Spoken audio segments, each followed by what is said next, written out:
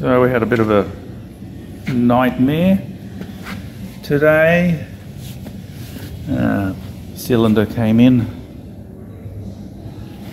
quite banged up, quite worn. They said the suspected uh, piston has come off the end of the rod. Yeah, we confirmed that because the rod came out with the gland nut.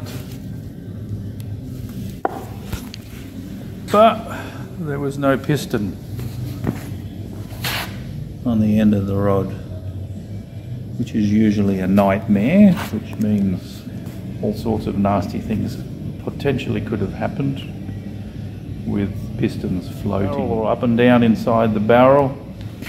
But on closer inspection, when looking at the threads, threads were virtually unmarked.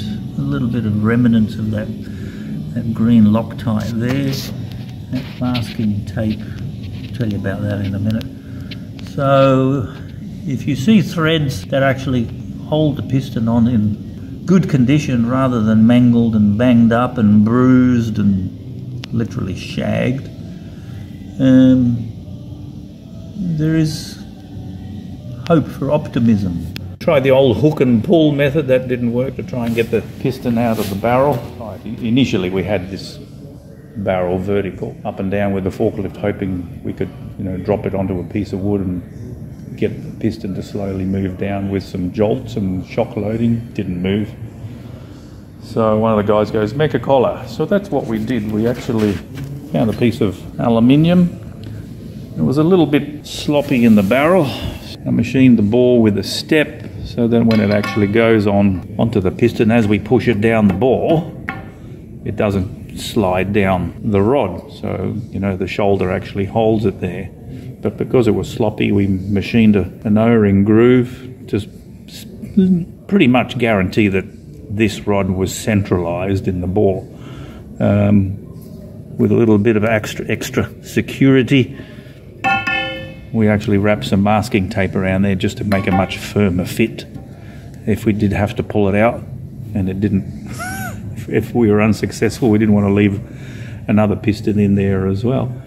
But it actually worked really well. We slid it in started rotating the other end there um, and then literally it engaged and screwed on all the way onto the piston. And then we pulled the spacer piston and the original piston out of the bore. So something to think about, guys. If you pull a rod out and the thread isn't undamaged and there aren't bits of bruising and bits of thread and it looks like crap, but if it looks awesome and in great condition like that, there's a good chance if you use this method to support the rod that you can uh, screw the rod back into the piston and pull it out. And that's just what happened. It actually came out looking pretty awesome. So, uh, Anyway, an idea, guys. If it's a shorter version, yes, you can stand everything up vertical and you can lower it down and do it up. But on a big, long stroke cylinder like this, we've got ceiling height and we've got a high lift forklift. We've got plenty of height, but